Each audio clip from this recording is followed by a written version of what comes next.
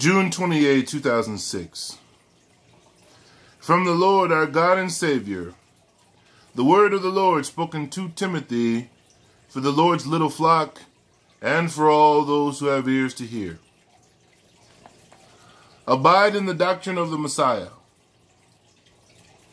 Thus says the Lord, I have spoken, yet those of hardened hearts refuse to hearken to my voice.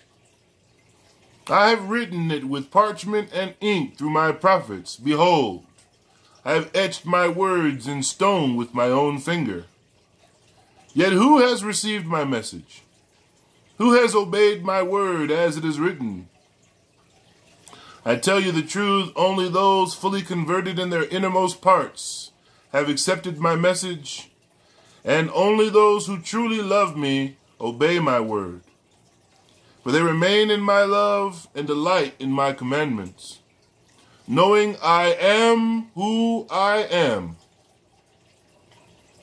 So then, what of all these smoking firebrands who surround you, who do always rebel against me in word and by deed?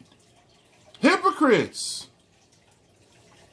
Shall my children profess to know me with their lips, and then go and sin before my face in that self same hour? They do continually transgress. Neither do they abide in the doctrine of the Messiah.